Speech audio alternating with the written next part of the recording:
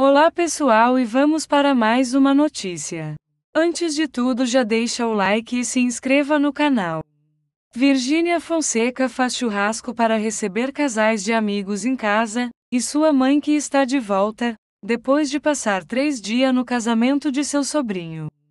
Veja no vídeo a seguir. Já deixa o like e compartilha o vídeo.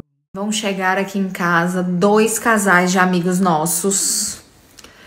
E a gente é, vai fazer um churrasquinho aqui e tal pra receber eles. Eu vou tomar um banho porque ninguém merece receber pessoas assim, né? Minha mãe chega agora também. É isso. Olha o outro quarto, galera. Que coisa fofa. Aí aqui, a Lei colocou esse pisca-pisca que é do Joca. É a cama do Joca. Aqui. Ficou mara, eu amei. Todo mundo falando lá do Endo dele. Quando chegar em casa, adoece. Aham. Não, adoece não, que amanhã tem festa. Amanhã. Né, Dona? Ah, então terça-feira. Ah, Ó, gente, três dias de festa do casamento do Guilherme. E você? Eu na festa. Tá cachaçada até agora, Até né? agora. Eu tô vendo. Saiu de um churrasco. Me retirei do churras pra amamentar, porque eu ainda não sei amamentar na frente de pessoas. Eu ia tirar o peito pra fora, ia virar um rolo, todo mundo ia ver meu peito, é confusão.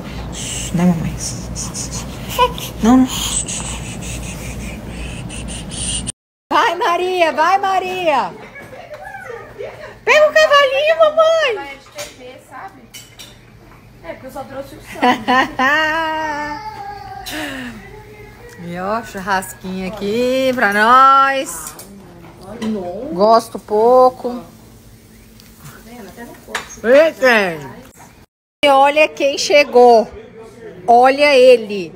Ele tá imenso, gente. Ele já tá gordinho demais. E tá aqui a florzinha.